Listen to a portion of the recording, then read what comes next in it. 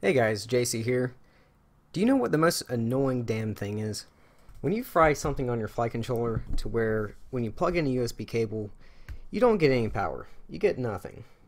Now this doesn't mean the entire flight controller is fried, because you can still power it through a 5 volt source like linear ESCs or 5 volt regulator. I'm just going to take these wires and uh, hold it up to a 5 volt power source. Oh, and look, we get power. But do you know why that is so damn annoying? Because sometimes I just want to go into Betaflight without having to plug in a LiPo battery. That way I can make all my configuration changes, I can test my receiver and modes and stuff like that. So yes, the flight controller will still work without USB power, but it's damn annoying. So how do we fix this? Well, usually it's a diode. What is a diode? A diode lets electricity flow one way, but not the other way. And the reason for that is because, uh, let's just say we have our LiPo battery plugged in, and the USB cable plugged in. That way we can calibrate our ESCs or something like that. Then the power coming in from the USB is not going to conflict with the power coming in through the LiPo battery. Because if that were to happen, something would probably fry. On this specific flight controller, which is the SP Racing Mini, which is just known for frying things left and right. So first you need to spot your diode. And I'm going to go ahead and say this doesn't apply to all flight controllers. Every flight controller, the circuitry is different, but uh, this will apply to, to most. Anyway, so let's find our diode. Well, I see one right here. It's this little rectangle with two legs on one side and one leg on the other side. Could that be our diode? I don't know. Let's find out. So your USB plug thing, the entire thing is a ground. So if we put our multimeter on a ground right here and a ground here, yep, we get continuity. But what we are actually looking for is power. At least with the orientation of this USB, and I say that because everything's different. This could be up, but this could also be up. Uh, there is no up, you just have to know how USB things are wired. Long story short, I know for a fact that this one all the way to the left is my power.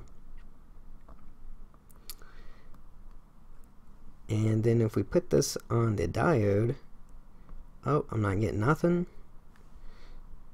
Not getting anything there. Oh, but wait. Yep, there it is. I did that on purpose. I knew it was that leg.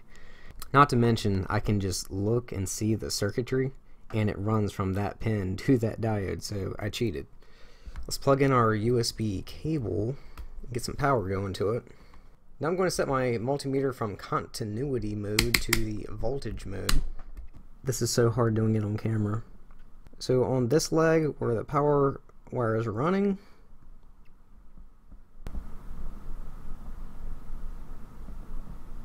Ah, screw it. I give up. I can't do it on camera. It's bad. I know it's bad. Okay, so how do we replace it? Well, first you need to purchase a new diode. Um, I, I can't remember the part numbers off the top of my head or websites, but I'll just flash it on your screen right now. You can also look in the description below. So you've purchased your new diode. Now how do you remove it? You're probably going to want some uh, solder flux or flux paste. You can get this off of eBay for pretty cheap and it lasts for forever. I'm also going to use some solder paste, once again off of eBay. And you will also need a hot air gun. I'm not moving the camera, I'm lazy, but I'll flash a picture on your screen. I'm just using like, I think it's like 35 bucks off of eBay, something like that. But it, it works great for $35. And it, it's actually paid for itself. With all the repairs I do, I save all kinds of money. I'm going to take the flux paste and we really don't need that much at all. So I'm just going to kind of get some coming out the tip. Ooh, too much. I'll just take my razor blade and kind of take a little bit from there. Put some on one leg, put some on the other legs, and that's it. Like I said, you, you don't need much at all. Now I'm just letting my hot air gun heat up for a minute. Now I will take my ceramic tweezers, once again, eBay. And when I put this hot air gun on it, I'm going to angle it like this way because I don't want all the heat going everywhere because you can actually melt your processor and any other plastic component. So I'm, I'm going to try to focus the heat this way.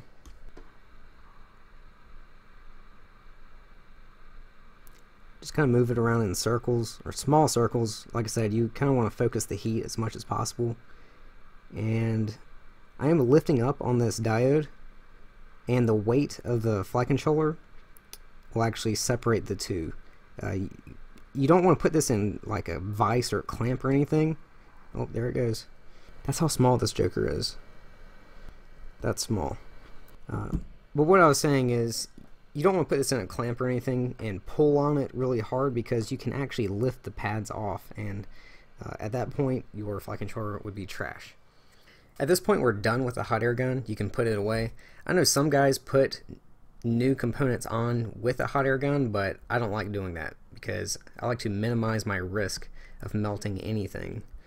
This time I am putting my flight controller in, I'm actually just using a helping hand. That's good enough. Now that my soldering iron is nice and hot, I'm going to take some solder wick, eBay, and try to remove as much of the solder as I can.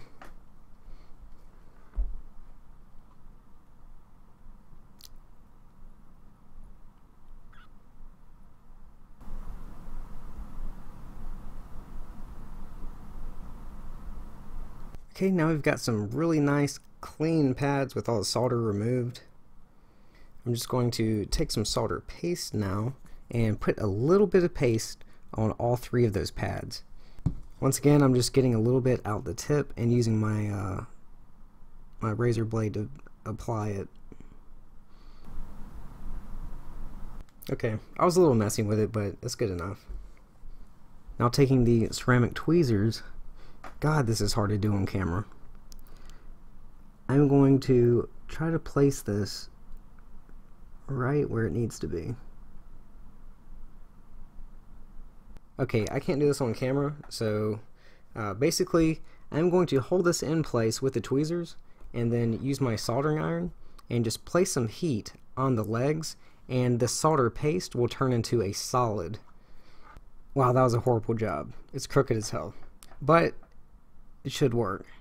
At this time, I will now take some flux remover and spray it on the area that we worked on and use a brush to like clean it up. You don't want any flux or solder paste anywhere because that could potentially uh, make the legs arc or you know they could ground against one another.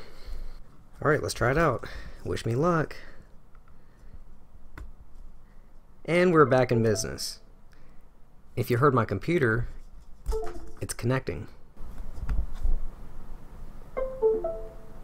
And that's basically it guys, just one more random fix for you. I'll leave some links to my playlist in the description below and top right of your screen, so check those out for other helpful videos, and I will see you again soon.